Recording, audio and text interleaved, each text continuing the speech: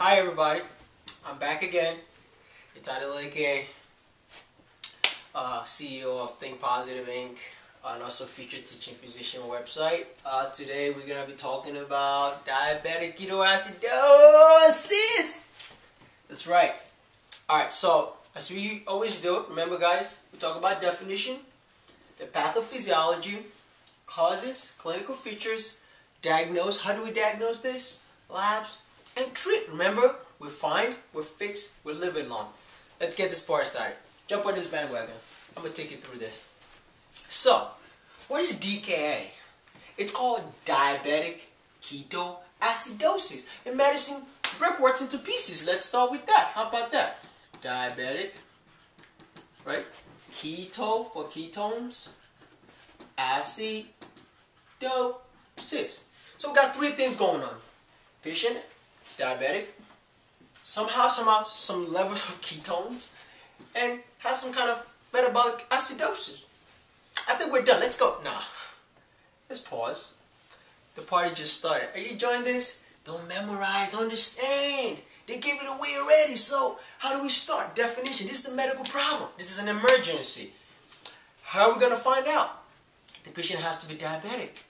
Type 1 or type 2. Most likely type 1. Remember type 1? They don't have any pancreas making enough insulin. So no, guess what? What is that problem? There is no insulin. So let's start with that. It's a deficiency in insulin. But we haven't talked about what causes it yet. But right now, I want you to remember the consequences to this. Number one, the blood sugar is going to be a problem. The ketone is going to be out of whack. We're going to explain why that happens. And they're going to be just going what? Metabolic um, ketoacidosis. But another big problem is they're going to be dehydrated. How come? Let me now talk about a little bit about the pathophysiology. But before I talk about pathophysiology, let me tell you what causes this. One of the biggest causes, we say it's always in diabetic patients. Type 1, very common. Type 2, not so so, but they can get it. So, let's see. Now you know we can break the word into three pieces and you kind of got to give it away. But, hey, you know what? Let's dive a little deeper. So, number one, we said, what can cause this? It's always stress. S T R E S S. It's stress. What can stress patients? A lot of things cause stress in our lives. I know you can't pay your bills, you have enough money to go to school.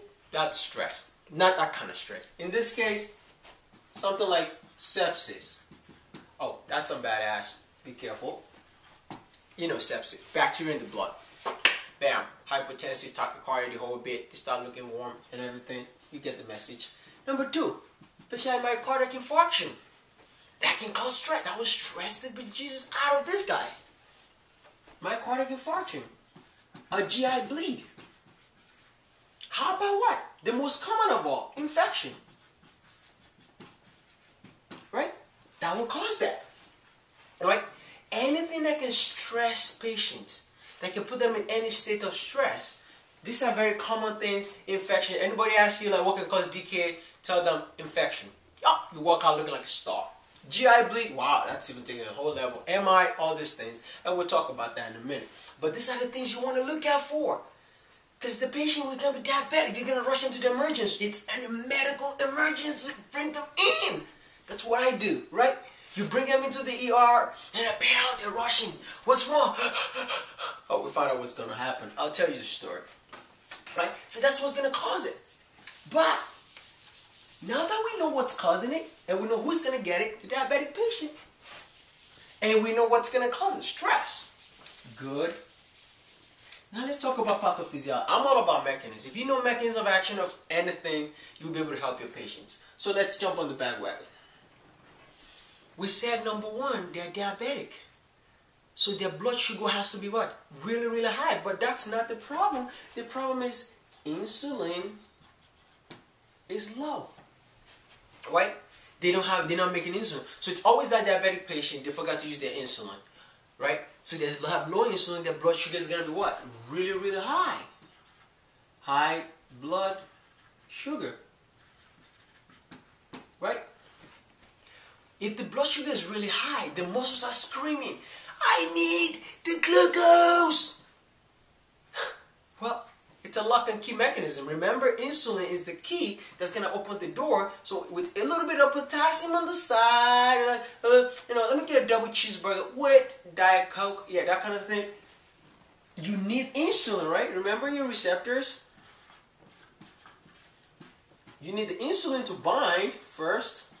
When insulin binds, potassium kind of goes into the cell with it, but glucose kind of goes in too. But in this case, the glucose is not going in. It's staying outside. It's piling up. It's piling up. Your body's starving. I need the glucose. But the body says, you know what? If you're not going to give me the glucose, I'm going to make more. So what's going to happen? Your blood, your body automatically, let me just erase this. Guess who's going to kick in? The body's gonna think, wait a minute, we don't have glucose. It's gonna think you don't have it, but you actually do have glucose. The glucose is very high, so the body says, let's crank up some more glucose. So what will happen? Automatically, your glucagon. Remember who that guy is? Glucagon is the guy that takes glycogen and breaks it into glucose. You would think the body is trying to help you. No, it's not. But now, what are you doing? You're feeding more glucose. But remember, the glucose is not going inside the cell. The glucose is just kind of like, you know, kind of flying, flying around, kind of laying around. The cells are not getting it. So glycogen starts doing that. Then the body's like, wait a minute, I'm still not getting glucose. Remember all this time these cells are dying. They're like, oh my gosh, I need glucose. I'm dying. I need something. So what does the body do? Ah, the body's smart. If I don't have glucose, it thinks you're starving. So automatically start to crank up ketones. Wait a minute, let, let, me read back, take you back to what? Biochemistry. yeah. I know, I got to do that, because that's why I do these lectures. Body thinks there's no glucose, or automatically takes fat, fatty acids, break them into acetyl coenzyme A, which are not going to be forming what? Acetyl acetate or beta hydroxy butyrate, and acetone. Ketones, baby. Ketones are gonna be out of whack. But you know what? Ketones can be used as energy. The body's smart. If you're not gonna use glucose, it's like I got you. I'm gonna make a lot of ketones from fat. Break it down a little bit of fat. The liver's gonna crank them up. Right there. Crank up a little bit of glucose since you're not gonna do that, you're not you're not gonna use the glucose. The brain's gonna start using your you know ketones, right? The fat can now use ketones. The muscles can use the ketones. The heart can use this ketones because you know what? You gotta keep you alive. But that is not good. That is not good. You know what's gonna happen? Although your body is going through this mechanism, I don't want to make a mess, and I kind of don't still want to erase this. So what we're going to do I'm going to erase this just a little bit. And I'll show you the pathway. As a matter of fact, you know what? I'm just going to erase this a little bit. Keep this on the board. Watch this. Low insulin, high glucagon, both of them cause elevated blood glucose. But that's not where your problem is. The problem is as your blood glucose start to rise, remember this glucose got to flush down the drain. What's the drain? The kidneys. They're going down the kidneys. They're going down the kidneys. They reach what? Something called transport maximum is reached. T-max. Absorption inside the nephrons, remember? Now the glucose start to spill inside your urine. It start to spill inside your urine, right? It's called osmotic diuresis. Because remember, diabetics, they will spill sugar in the urine all the time. This is already bad enough. But this osmotic diuresis will cause what? Water to flow, right? You start to lose water. Because the glucose has high osmotic content because of the, uh, the sugar. It draws water with it. All of a sudden, the patient becomes dehydrated. Volume depletion.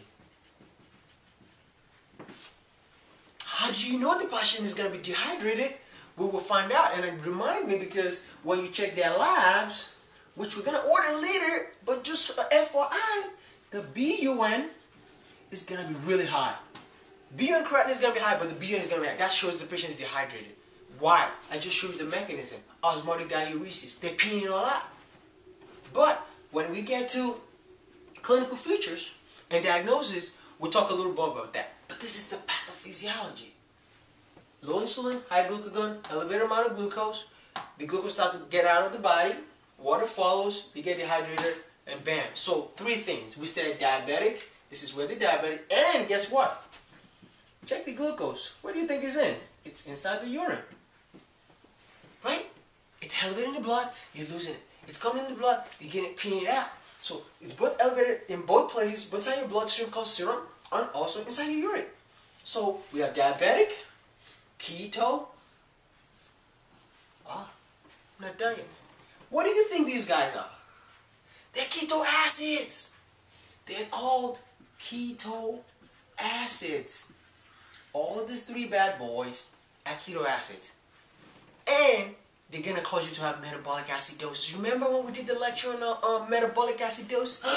acidosis! MUDPILES. Remember MUD? Methanol, uremia, right? DKA. Yeah, exactly. That's where we at. DKA, right, baby. That's where it is. That's exactly where the problem is. That's how DKA causes metabolic acidosis. It's cranking up all these ketones. All these ketones. So, we talk about what causes it. We just talk about the pathophysiology. What is the patient gonna come in with? Remember, they come in, you gotta recognize it. The patient's gonna come into the ER, bam, bam, bam, they come in, what's going on? You gotta take an H&P. You gotta take an H&P. Remember, we take a history. What's going on, man? What brought you to the ER? You're like, she can't really talk. She's not gonna be talking much. She's gonna lie there in pain.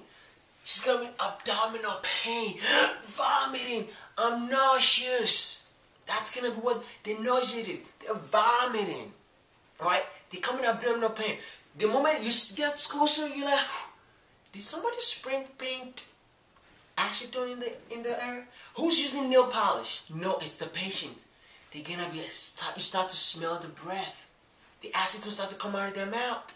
They have the abdominal pain, nausea, they're vomiting all over the place. Guess what? They start to lose a little bit of consciousness. You look at their mouth, it's dry. It's very dry. You know why they're dry? I just told you right there. They're dehydrated because they're peeing their brains out. Right? It's all from the blood sugar. That's when you know. Okay. But the key thing that's going to tell you is, hmm, the patient has diabetes. The, the, the the person that brought them in is gonna say, "Oh, do you have any medical problems? Yeah, they have diabetes. they just told you the answer. They got diabetes. Guess what? Then you say, all right. So how do we diagnose it? We did a physical exam. Guess what the patient's gonna be doing?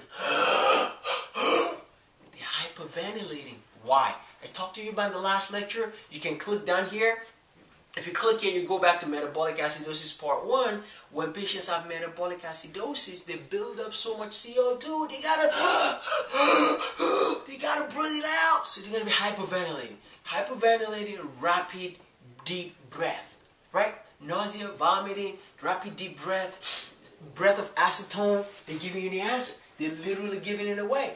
But hold on for a minute. Of my job. My job is to find out immediately what their blood sugar is. So this is the pathophysiology. Let me erase that for a minute.